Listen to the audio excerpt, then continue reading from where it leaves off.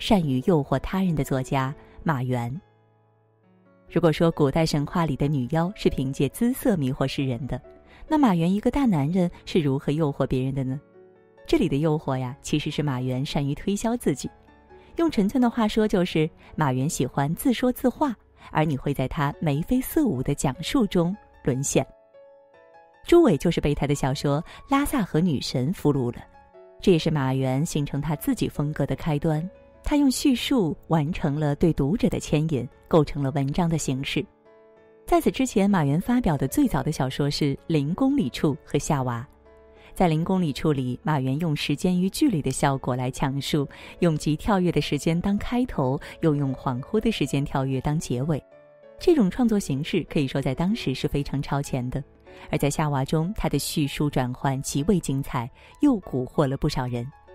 在朱伟看来，马原的创作一开始就趋于成熟了。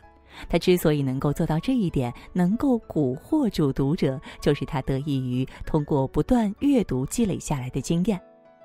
冈底斯的诱惑是马原崛起的开始。那时候，朱伟还不知道冈底斯是朝拜的圣山。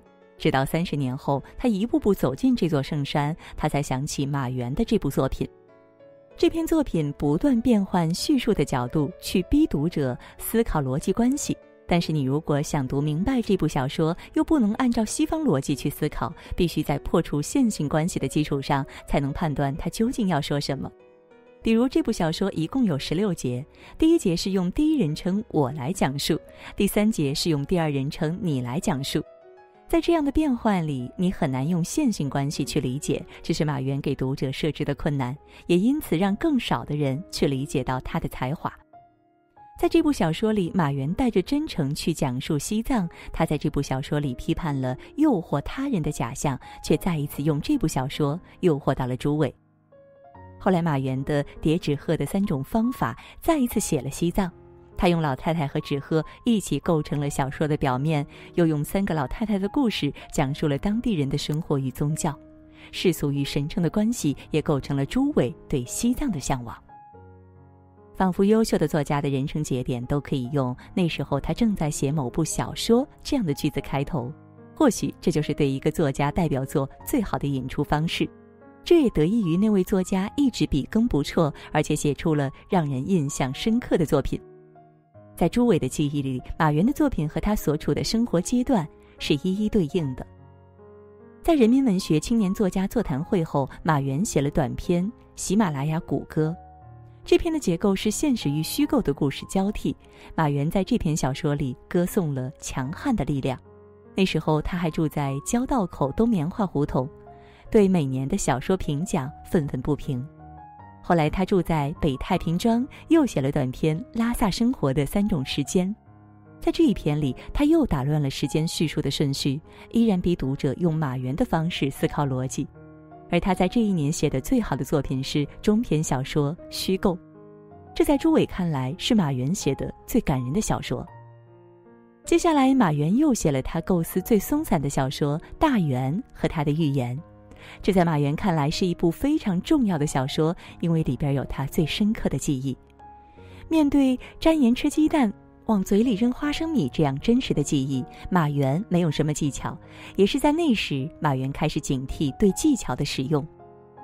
马原的创作生涯里最辉煌的年份是一九八七年，这一年他发表了自己唯一一部长篇小说，上下都很平坦。小说分为三部，分别是《担子游戏》《木马》和《三度重叠》。在结构上，第一步完全写实，是故事的缘由，关系清晰；第二步是故事的外围展开，也是人物关系的外延，焦点变得模糊，变成了第一步的氛围基础；第三步是故事的氛围总结。三步合在一起，让人们在消解中重新理顺人物关系。他利用人们的思维逻辑，颠覆了事物。让结局出人意料。马原在这部小说里探讨了人的本能，本能构成着庸俗平常的生，也成为了超越庸俗和平常的死。诸位感受到，他写这篇是为了向文学女青年皮皮展露才华，但是这篇文章暴露了马原的很多缺点。他写了欲望，却没有展示睿智的女性该如何去处理欲望。一九八七年，马原和皮皮有了孩子。在一九八九年时，大家似乎都无心文学了。马云回到沈阳，成为了专业作家，随后就开始声势浩大的拍摄他的中国文学梦了。马云把之前赚的钱全部都投了进去，他在全国采访作家、翻译家、批评家、编辑。他的梦想是想让读者看到八十年代的文学断代史，是八十年代文学留下的活着的影像。这件事得到了所有人的支持。但遗憾的是，珍贵的完整影像资料没有保全，剪辑后的长达一百二十小时的成品也无人购买，纸质版也印数不高。但这并不能抹杀这件事本身沉甸甸的价值。后来马云到了海南，这里更看重的是赚钱，马云只好开公司做房地产，但都不太成功。他转回本行写剧本，但也很少被拍出来。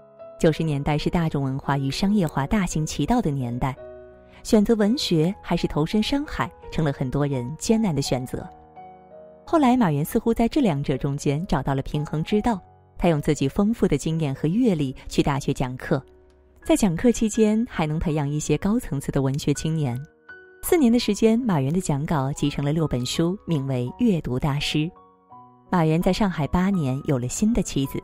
后来，马云发现身体出现了问题，他认为生病与大都市有着某种关联，于是就离开了上海，带妻子回到了海南，而这也成了他回归小说写作的契机，《牛鬼蛇神》就这样诞生了。马原用速回的方式讲述，用其中穿插着的理性思辨去提醒人们。